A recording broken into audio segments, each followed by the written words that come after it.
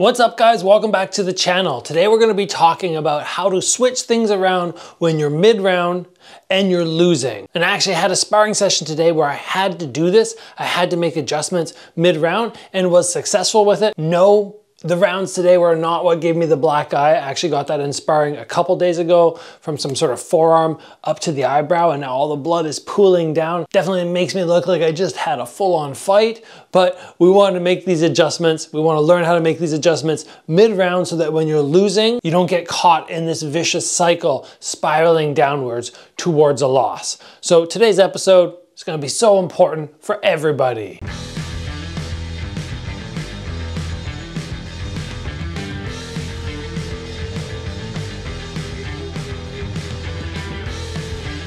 So losing one round, it's not the end of the world, especially if you're in sparring and you're gonna be cycling to other people or coming back. There's time for adjustment.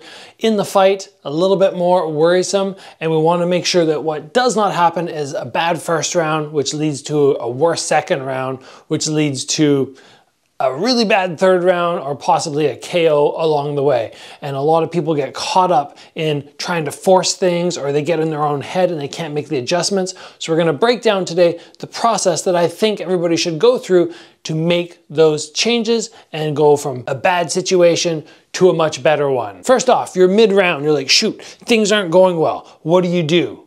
You need a reset. And you need to recognize you need to get out of your own head. Me staying right in the pocket and being like, oh, okay, I'm gonna just fight through this. I'll push, push, push. I'll work on our game plan and that'll get me the victory. No.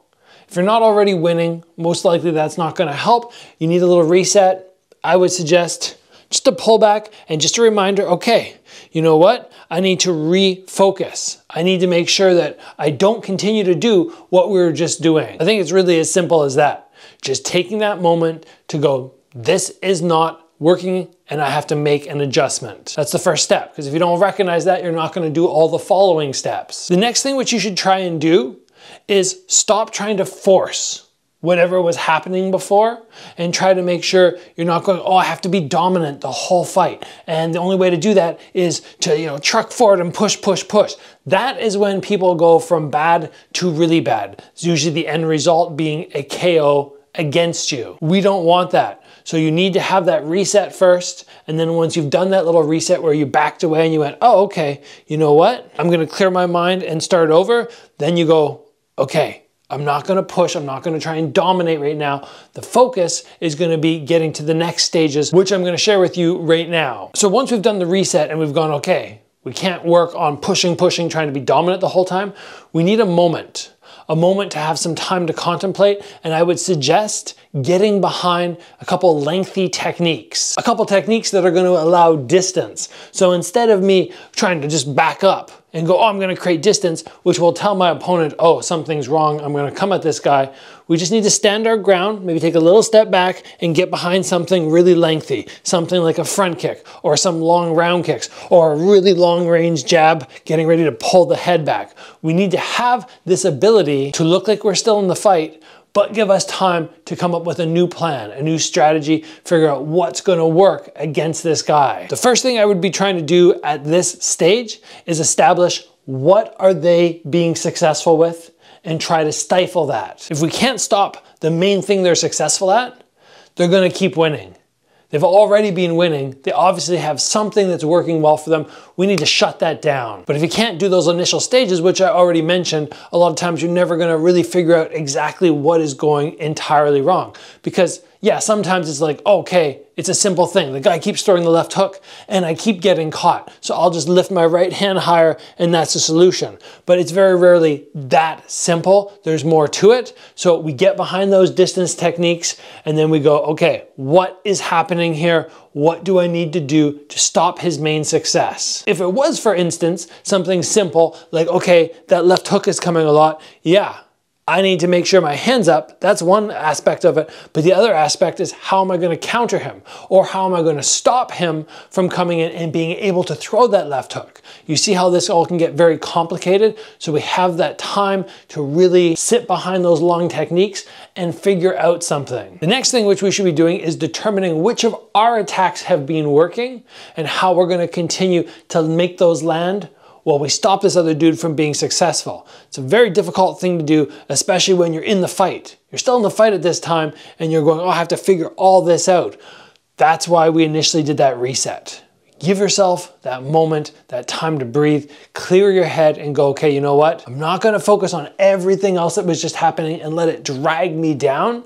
It actually reminds me of something I just heard in Ted Lasso the other day. I was watching that fun new TV show.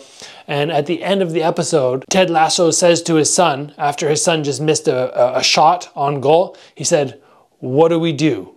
And the little guy says, We'd be a goldfish. And he's like, that's right. And then he runs back out there. Basically, be a goldfish in the sense that bad things that are happening, don't hold on to them. Don't let them drag you down. You've been losing the fight. Yeah, you need to recognize why you're losing and make those adjustments, but don't let it get too much in your head where you start just mentally getting broken down. And the last little point that I want to give you on top of everything else, before we get into a few more thoughts, is you can look to your corner.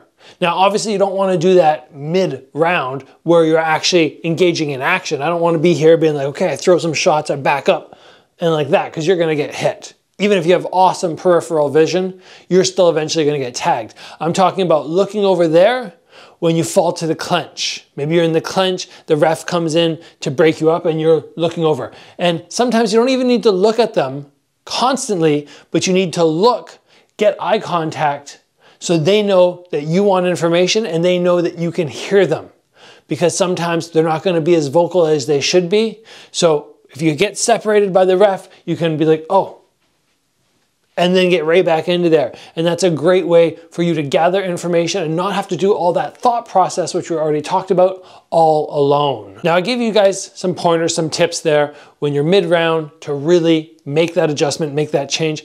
I honestly believe that it's not getting down on yourself. That's going to be the big key. Not going, oh, I've lost and trying to overforce things or just go, oh, you know, I can't win this round and I'm just going to try and make it out. You have to have that positive mindset. And that positive mindset is going to come from you having rounds in the gym where you're going, okay, I'm not doing well. And then you can flip it around.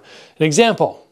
Today I was sparring. I was sparring with a boxer who has pretty darn good hands. And the first few rounds, I was having some trouble.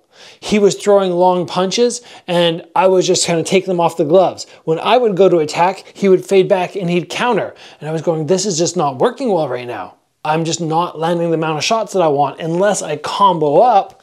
And when he throws his single shots, he's landing. This is just not good. So what I decided I needed to try was every time he entered, I was just going to stick my jab. I was just going to stop him. And then when I decide to actually come forward, I need to combo. Then I'll get back out. And when he comes to throw something, I need to jab. I need to stop him. And it ended up working and my rounds improved the further we got just because I was able to make that adjustment mid round go, what I'm doing is not working. Where is he having his success? How am I going to shut him down? I'm to shut them down behind that.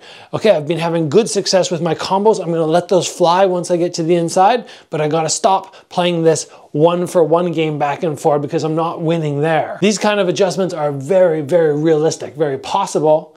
But if you don't practice in the gym, you're not going to go into the fight and most likely be great at making these. You want to have tough competitive rounds in the gym where you're going, shoot, ah, it's just, it's not going well, or even bad days. You have bad days when you're in there and you're like, oh, I'm getting hit, what's happening? Well, use that as a chance to rally, a chance to teach yourself not to give up, not to get down on yourself, not to get stuck in your own head, not to say, oh, I'm not allowed to have a little reset. I can't back up and reset. No, all these things are musts, I believe, when you want to flip the script and take over and around. And once you make a couple little minor changes, and we're talking like everything that I just said, that can be done within like 10 to 20 seconds and then you can start probing, start feeling out, and hopefully right away reverse going from in a losing situation to a winning situation. That's the goal. I hope you guys took a lot away from this episode. This is a hard subject to break down exactly because that's what happens in my head. It doesn't mean it's going to work exactly for you, but try it out. See if it works. If you enjoyed the episode, please give it a like. If you have not already, join the channel, get subscribed for more videos like this. As always, guys, train hard. I'll see you back here soon for another video.